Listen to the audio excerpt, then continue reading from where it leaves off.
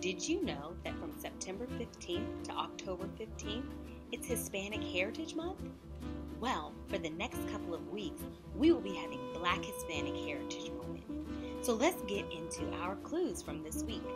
Clue number one I was born in Spanish Harlem in 1928. Clue number two My mother was from Puerto Rico and my father was from Cuba. Clue number three In my teenage years, I got into some big trouble and I ended up going to prison. Clue number four I changed my life around and ended up becoming a poet and an author. Who am I? Can you guess?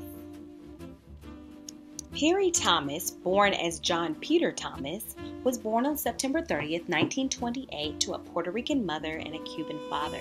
He lived in Spanish Harlem in New York City, and when he was growing up, he experienced racism due to his Afro Puerto Rican heritage.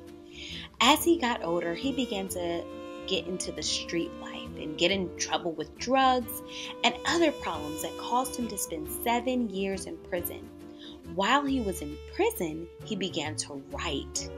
And he began to think about the lessons that his parents had taught, had taught him as he was growing up, knowing that a person is not born a criminal. When he got out, Piri was dedicated to helping young children not make the same mistakes that he made.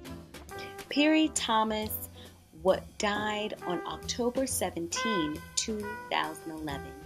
He was a wonderful poet and author.